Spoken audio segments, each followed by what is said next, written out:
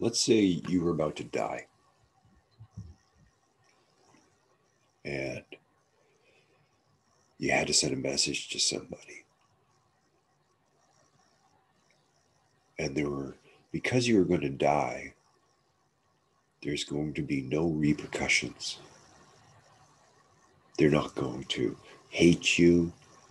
They're not going to come at you. They're not going to take your stuff. You just you, you're just about to die, and so you get to speak the truth in a way that is very different than you would that if you weren't going to die. I think when people are about to die, that's when they speak their ultimate truths. And I think most people on their deathbed, they go, I wish I had loved more. I wish I had done this more. It's, it's like just before you're about to die is when you really realize the truth of your own life. And I think humans, as we are, we plod along and we, we, we have this life, but we don't really, at some point, you reach a, a point where your dreams or your imaginations or your goals or something where you thought you could do something and you realize that you can't or that you won't or that, or that you're not going to do it. And I find with myself, I've, I've, I've been always dreaming of a plan to transform this world I'm in. And I've called it the very secret plan. And I, I, I've been working on this idea or a story for a long time like over 25 years. And when you reach that point, because sometimes it's a story, sometimes it's a plan, and sometimes it's it's reality. Sometimes you're you're in the middle of it. And uh, excuse me, hold my nose. It's like that. It's, it's it's like editing. You know, what do we edit? Take out the sneeze. Take out what we don't like. Make things right, make things good. We have the real world and we have the edited world. We have life as it is, and then we have the news reporting on what is occurring. The human beings are always sort of lost in distinguishing between these two things. You know, what is actually happening and then how is it being interpreted by everybody else. And then we have these mechanisms in place to transform or change how we see things or how we understand things. And I find that I think I'm 57 and uh, I didn't think I would live past 30 for some reason. And then I didn't, couldn't quite understand why. But I had this feeling I was going to die at the age of 30. I don't know why I had that, but now I'm 57 and it wasn't true. I thought I was going to die, but I didn't. There's a lot of things I thought would happen that didn't happen. There's a lot of things I wanted to happen, and it didn't happen. A lot of things I aimed at, dreamed of, and I experienced it, but it wasn't what I thought would happen. And I, I, I don't think I'm any different from you we're all like that, right? Like there's certain things about human beings, we're the same two legs, two arms, two eyes. And we experience life very differently. And then as you get older, as you become an elder, you realize that, hmm, some of the things I thought were this way, they're not true. Some of the things which I thought the world, it is it, it isn't true. And so you you go through life, you go through these experiences, and you're always kind of assessing, and, and, and then you're portraying yourself to everybody around you. And there's this inner world nobody sees, and there's this outer world which you project to the world. And most spiritual traditions are are telling you about this relationship between your inner world, everything that nobody can see the outer world what everyone sees. And this is part of being a human being. We have an inner world and there's this outer world. And now we have backgrounds. Now we have a way of changing our perception through this technology. And you may be wondering what point I'm trying to make. I'm trying to be honest. I'm really trying to be honest because I I see in the media and I see people talking and I just don't see people being really honest about their life and who they are. Because we're always trying to make people believe things. We want people to believe that we're a good person. We want people to believe that our product is right for them. We want people to believe in whatever. And that belief is in your inner world. That belief is something that doesn't necessarily correspond to reality. You can believe something, doesn't mean it's true. I think when we come down to believing about something like God, that's where human beings have a big separation around what God is. And all of our religions and all of our spiritualities and everything that exists for people that creates this worldview that we live in centers around our belief in God. And I don't know about you.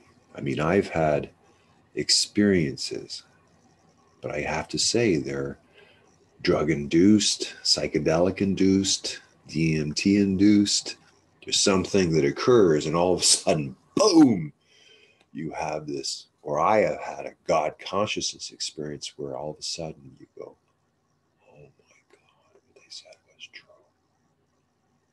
But it blasts away everything you ever thought about, anything. And then it fades away. And that's very different from reading about God in books. It's very different from reading about things versus experiencing things. And so I've had some experiences where where it seemed like every molecule in my awareness, everything around me was looking at me. Everything had consciousness. Everything was alive. Everything. and it was in that moment where you're going, oh, oh, it's not just me. There's everything else. And there's something, there's intelligence, there's awareness, there's something bigger here. And that's what, you know, people like uh, Buddha or Jesus or anyone who started a major religion has had some experience and then they bring forth teachings and then they're going around saying this is a different world and just if you could have this world then you could be like me and then everything's going to be great or whatever that is right but now we're at the point of our human evolution where all of us have that chance of experience. I mean, if you go to a festival and have some DMT and bing, believe me, you are not going to be the same. So, what do you do with that? And I think for me, you know, I've, I've been trying to trying to understand you know, how to utilize my life with the most that I can. And, and the spiritual side has been so strong, but it's, it's not that strong. I look at other people and they meditate better and they pray better and they're, they're way more devout and they're way more aware. And I feel deep down that I'm just, I'm just this speck of sand you know, on a beach, on a planet in the middle of nowhere, and I'm aware of myself, but who gives a flying frick about that, right? Like, life goes on, and that's it. and as human beings, we want some some significance. We want to believe that I am the one, or I figured it out, or and I, you know, I have moments where I might have figured out a little something, but then it fades. Then you, you look at the world, you're going, you know, I just think we could do things better. Why are things organized this way? And why why are those people in charge? And why why are they just being so stupid in relationship to the planet? And I, i'm pretty sure that there's a lot of people out there who are sort of thinking the same thing as me that we've we've reached an age of we're going to die soon. And we're leaving this planet to these children that are that have no idea about what has happened.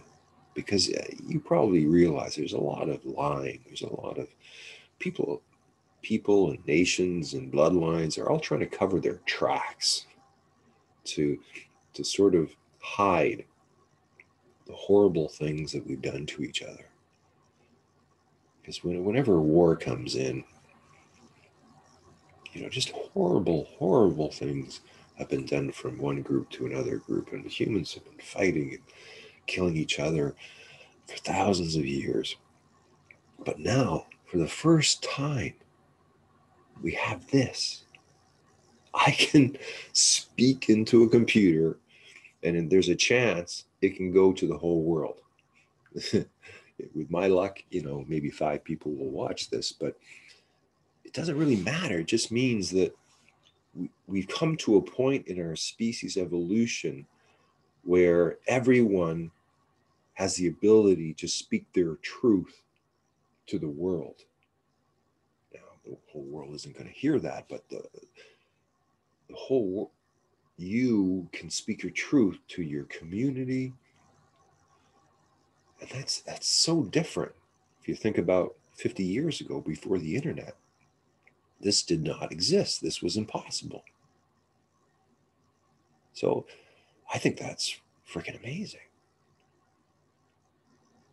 But I, I know I, I got to make a point here. I, I'm trying to get to a point of saying that I think we can design the future in a way where we get what we want if we just focus on being loving and peaceful. And we don't sort of take it and we're, we're not thinking about orbital batteries and and 5g control mechanisms. Like the, there really is a battle right now for the minds and wills of the people and i don't know if i'm trying to make a point or not I just think that I've spent a lot of time designing systems and with the hope that we can build something that actually helps our whole species to get ahead. And I'm looking for people who believe the same thing and want to work on the same thing. And I, and I want to work with you. And I've, whatever I've created, I think at some point I want to give to you. I, I, this whole thing about money and profit and you know i i'd much rather you know die in poverty knowing that whatever i created was available to everybody rather than become very rich and only a few got it and i think what i've created is very valuable Like it's a, it's a thinking system. It's a way of organizing your mind so that it makes sense of where things go. And I think when you put language on sacred geometry, it changes how you think and it, it opens up the multidimensionality of our interaction with the universe. And I, I would just like us as human beings to be peaceful when we go out and start to connect with other civilizations and entities and beings and we have to see ourselves as a world that is about to make contact with other other species. And I just think it's a better idea to do it in a peaceful way than a warring way. So we got to take care of our own. We have to figure out how to feed everybody. And it can be done. All the technology is there for everyone to have a, a decent life. There, you know, just basic, you know, everyone needs a house, food, work. You know, it's, it's, it's pretty basic. And if we all have that in our hearts and our minds as as what we want to create together, I think we will do it together. But we just have to leave this war mentality. Anyway, uh, maybe someone will see this after I'm dead. Maybe maybe it'll do some good. Who knows?